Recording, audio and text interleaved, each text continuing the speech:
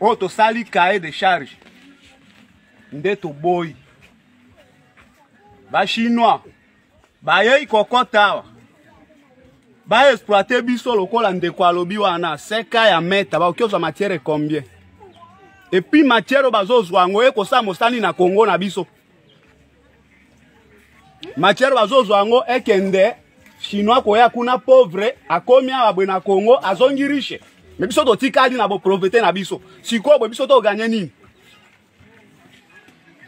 yango tomoni ke tolingi te chinois alobi aexploite biso nono aneva plus siseka ya meta un siècle demi toboyi adelokalize biso toboyi chute d'exploitation na bango bakoexploite wapi eza wapi na mai to na mokili toboyi epuis babeta biso 50 kilometre carré koexploite biso baosukela wapi tino tozoboya chinois ata soki bo baza kuna mosika mosika nde baoteka biso me biso sur place awa tolobi liambe eza ya koteka te bongo te bandeko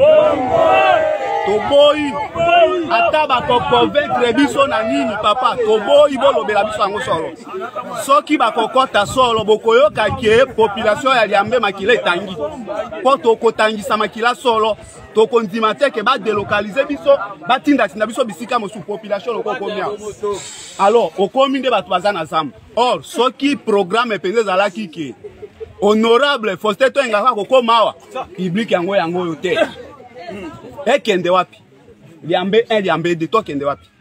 nde eloko wana papa toboyi bachinois baexploite biso ntango mama dimtate akomaki awa ngai natunaki totunaki ye bwe mama